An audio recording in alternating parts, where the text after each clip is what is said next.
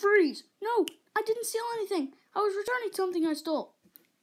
You can't stop the future. You're just a thief. No. What? Oh, man, man. I didn't come up with it.